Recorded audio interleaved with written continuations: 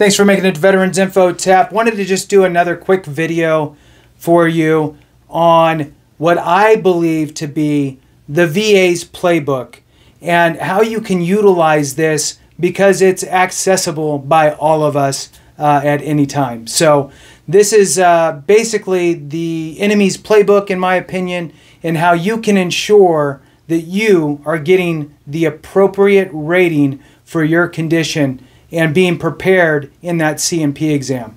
So if that's something that you're looking forward to uh, hearing about, hit that thumbs up for me, subscribe, share with a friend, all that good stuff. So the enemy's playbook, in my opinion, is the schedule of ratings. Okay, you may have heard about this before. You may have watched my prior video, uh, which I hope you had. Um, but again, I just I can't hammer home enough on the importance of understanding and knowing uh, your information and being prepared. So, when you think about a VA claim and you're filing your claim, I don't care if you're doing it yourself, you have a VSO doing it, you have somebody else doing it, you have a lawyer doing it, doesn't matter. At the end of the day, you are going to be the one at the C&P exam and you are going to be the one who needs to be prepared. And I'll tell you what, it doesn't matter how good your claim is, how much evidence you supplied, you can go into the C&P exam and you could stink it up. And when you stink it up, you could go from a 60% potential rating down to a 10 in a matter of two words. So, understanding and knowing what you're walking into is important, important, important. So, with the schedule of ratings, and I'll put links and information down below in the description for you. Essentially, what happens is when you file your claim, and again, I don't care how it happens, you file your claim and that information goes off to the VA. Now you have hopefully a successful claim, which includes a uh, your proof of time in service, your diagnosed condition, because the VA is not going to diagnose you. That's not what they're trying to do here. They're trying to uh, see if you qualify for compensation. You need to provide the diagnosis.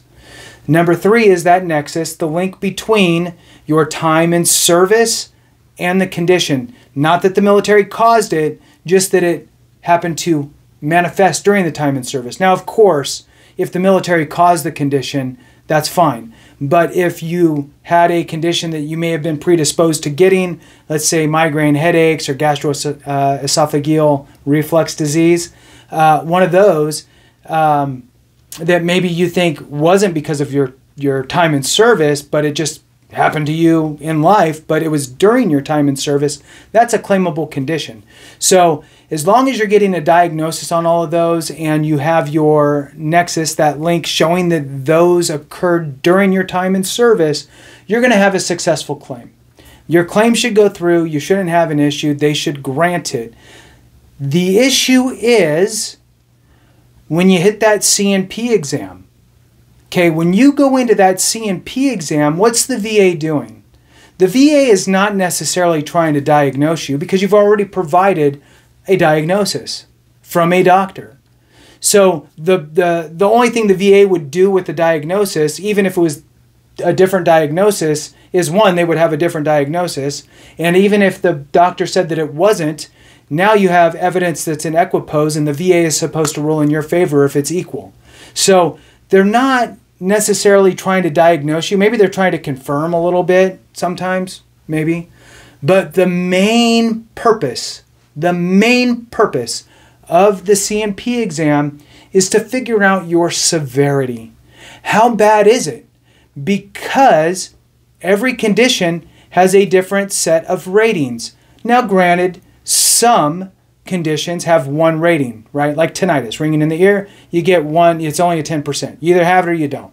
But a rating for, say, uh, gastroesophageal uh, reflux disease, um, that one will have a, a, sliding scale and it will go all the way up to 60%, um, a 30%, a 10%. So, depending on where you fall uh, with your signs and symptoms and durations, which may not be spelled out in the evidence that you provided because you just provided, I have a diagnosis for GERD.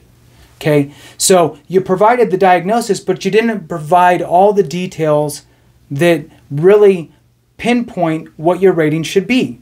So the VA has you go to the C&P exam, sit through, talk it through, whatever. If it's a range of motion thing because you got a bad back, they're going to pull out their little bendable measuring stick and they're going to measure how many degrees you can move, all that stuff before you feel pain. So that way they can annotate it and then send it back to the VA, the VBA, Veterans Benefits Administration. So then the person who's sitting there can then do a side by side comparison. And they're going to go, okay, here's all the answers from the C&P exam. And here's the schedule of ratings that tells me what I should rate you. So I open up the book, and the book says that if you have these five things going on with you with this condition, then you should be rated 60%. Or looks like you don't have those five things because you didn't say them all. So looks like you said two things. Well, 30% rating needs three of those things. So nope, you don't meet that. You only said two things in your C&P exam. So looks like you're at 10%. So an example there would be GERD. Okay, if you went into a GERD C&P exam unprepared, you would say, I got bad heartburn, it really sucks, and sometimes I regurgitate a little bit. And that's about all you're going to say. And then you're going to leave. And the C&P examiner is going to submit back to the VBA that you said you have heartburn and you have regurgitation. And that's going to get you a 10% rating. But if you would have read the schedule of ratings and not lie, but go, okay, these things meet me or they don't meet me. I do have those or I don't have those.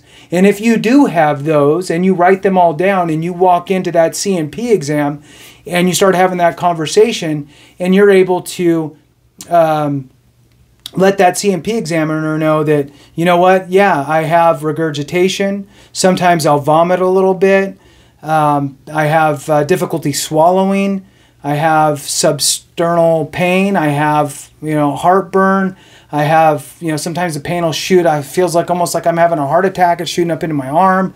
You know, I'm really concerned because I, you know, feel like if I can't get this under control, that you know it could erode my esophagus and I could it I could end up having you know cancer there, and that would be horrible. You know that could potentially get you a 60% rating, right? So at least it's going to get you much closer because you were able to articulate all of the signs and symptoms that you have from that specific diagnosis because you read the schedule of ratings. Super important. Super important. Now, the other thing that you can do by reading the schedule of ratings, if you are let's say front loading this a little bit and you're developing the claim that you're going to file with the VA, you just haven't filed it yet because you filed an intent to file and now you're going to file your claim but you're doing one maybe one more doctor's appointment or what have you. But you read the schedule of ratings, you know what condition you have and now you're taking you're reading it and you know I have all of these things. I meet all of that. Take that information to your doctor and make sure that they place that into your medical records so you're annotating with the doctor that you're experiencing each one of those signs and symptoms.